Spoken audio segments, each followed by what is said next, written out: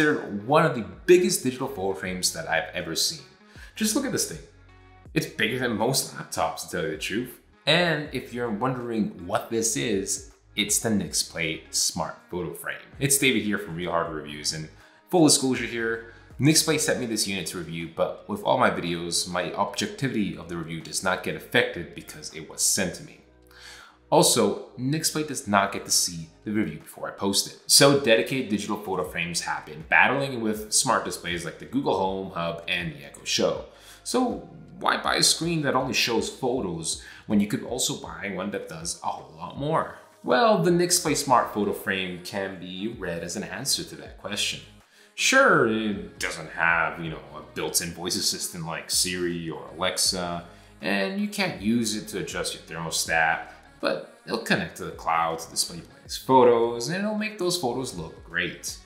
And it'll do it while, you know, being relatively easy to do. The Nixplay N really stands out, mainly because it's literally the biggest photo display that I have ever seen.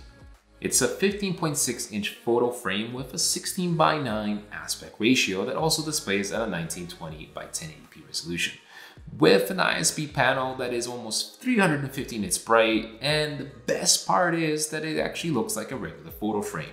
The viewing angles on the Nixplay are great, and I found it to provide a sharp color and high contrast. There are four sizes available, with a 9.7 inch, a 10.1, a 13.3, and a 15.6 display that we see right here.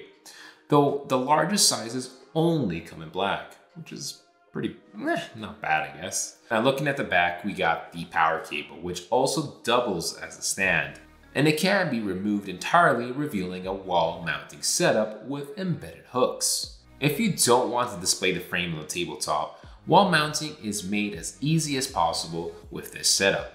The Nixplay comes with a remote control that you can utilize to, you know, change the picture or access the settings menu on the Nixplay. Thankfully, they also included a magnet on the back of this remote so you can keep the remote control on the back of the actual unit. It's just, you know, for safekeeping. The remote is hidden from view when not in use, and you can always know where it is wherever you need it. And it's great for grandma and grandpa who might, you know, lose this remote. It's always in the back of the display unit. Setting up a Nixplay frame includes creating an account and pairing your frame to it, and adding photos or videos. Using the mobile app, you can manually add photos or connect your, you know, account to Google Photos if you need be, or Facebook for that matter, or Instagram, or Flickr, Dropbox, the sky's the limit. And you know, you can use them to populate the playlist, which you can put pictures for. Major cons that I have with the device is that it does not offer a way to add media with a physical SD card or USB stick. You're essentially stuck with Nixplay's cloud services, which means that, you know, one day this photo display could become a paperweight if the cloud services stop working altogether. Which leads me to another con of the device, which is the storage amount you get on the cloud, which is only around 10 gigabytes. And when you consider photos and videos fill up a device pretty quickly, then that's pretty small for what you might be able to do with it. And if you don't like the size of the storage that you get with 10 gigs, you'll have to pay a subscription fee to Nixplay to increase it up to 50 or larger depending on which plan you choose.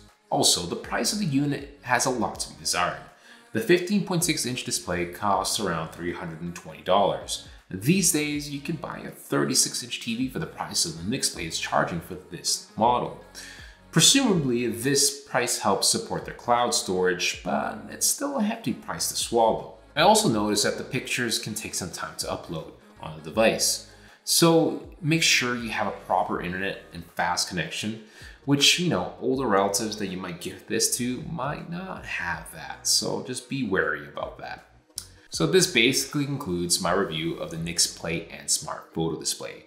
Please remember to smash that like button for the good old YouTube algorithm, and also remember to subscribe and comment on the latest reviews and also hit the notification bell to be alerted of the latest videos. And if you haven't already, then please join us on the RHR Discord channel where we talk about the latest trends in tech. So thanks for watching the video. This is David from Real Hard Reviews signing out.